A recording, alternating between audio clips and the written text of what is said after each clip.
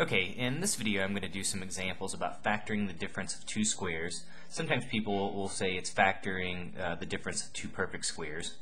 Um, and the formula that we're going to use, it basically says if you have something squared minus something squared, you can put that in parentheses by just taking the things that are being squared in one set of parentheses make it a minus, and the other set make it a plus. That's all you got to do. Um, be very careful if you have a squared plus b squared. Uh, if the exponents are squares, this doesn't factor. You can't do anything at all to this. So people will often try to make it do something, somehow factor it, but uh, it, it's, it's not correct. So be very careful about that. If the exponents are both threes, it does factor in that case. So just some, you know, little nuances that to uh, be aware of. But anyway, okay, so just a couple basic examples here. Uh, 9x squared minus 49, and then uh, 36y to the fourth minus 100. All you have to do, and we can even rewrite it first. Um, we want some. We want to rewrite the first term as something squared. Well, to write 9 as something squared, we would need a 3. And then to get x squared, we just need an x. So if you multiply 3x by 3x, we get 9 squared. And then 49, we can write that as 7 squared.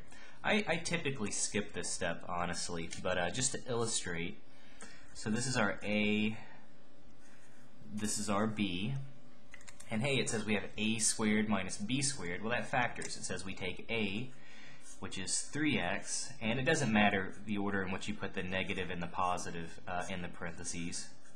So we'll take 3x minus 7 and 3x plus 7, and now we have it factored. So typically what I always do, um, kind of the shortcut for me at least, the way I think about it, anytime I see something with two terms, so here's one term, here's the other term, if there's a, a minus in between them, it always factors basically I just take the square root of the first term, which um, I, I, guess you know maybe maybe you've seen it uh, square roots a little bit, maybe you haven't worked with them a lot. But the square root of 9 uh, x squared would just be 3x and 3x, and the square root of 49 will just be 7 and 7, and then I just stick a, a minus and a plus in between them. So maybe we can do kind of the same idea uh, on this one. 36y to the fourth minus 100. So I recognize there's two terms, there's a minus in between, so I say, hey, that's going to factor. Uh, I think what number times itself is 36? Well, I would need a 6 and a 6. What would I have to multiply by itself to get y to the fourth? We would need y squared and y squared. And then I think, well, what number multiply? What's the square root of 100?